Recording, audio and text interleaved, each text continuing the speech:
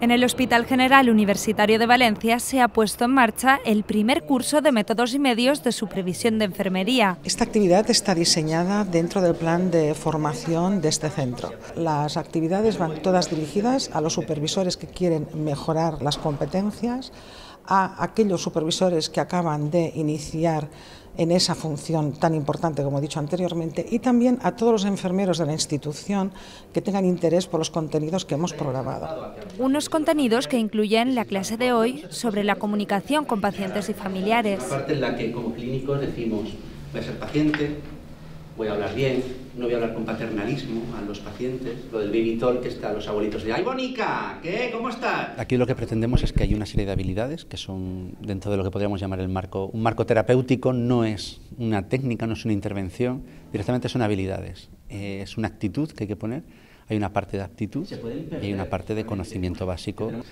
e instrumental de comunicación verbal y no verbal.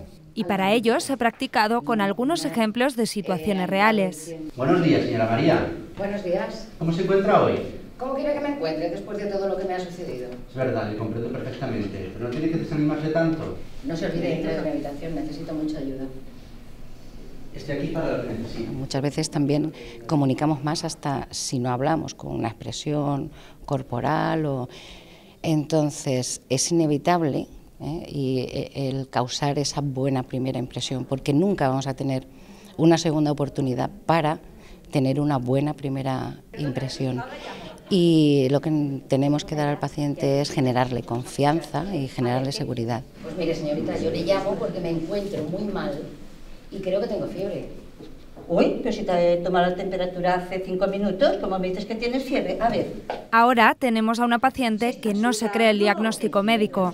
Entonces tú eres la que estabas en la lista para operarte y ha habido un problema, porque sí que tenías el azúcar alta y tú no eras diabética. Pues no, me dijiste en una conversación antes que tu madre había sido diabética. ¿Te acuerdas? No. Pues me lo dijiste. Así, entre risas y casos prácticos, estos profesionales han ido desarrollando los conocimientos, habilidades y actitudes necesarios para una correcta comunicación con el paciente y con sus familiares.